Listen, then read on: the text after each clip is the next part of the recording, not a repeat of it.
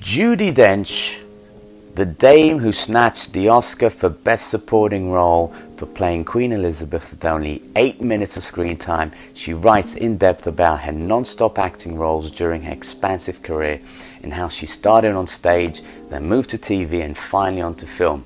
She admits to having more comfort with the discipline, routine of live theatre, which is where she learned her trade.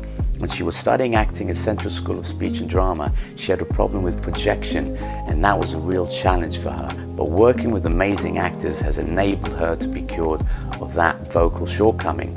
Today, Dench believes that a lot of young actors have no intention of going on the stage. What they want is to make a hit TV show or a film and have that kind of life.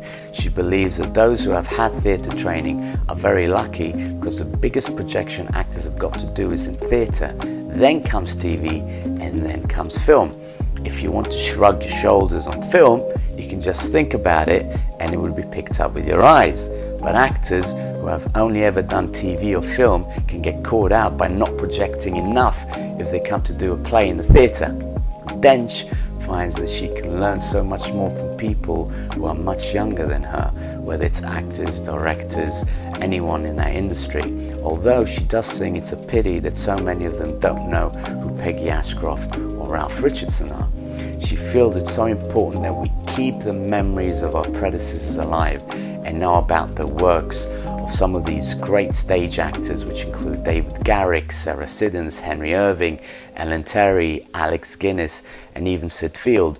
We owe it to them that acting still exists and should be curious about their profession and what we have come from. Keeping the flame alight.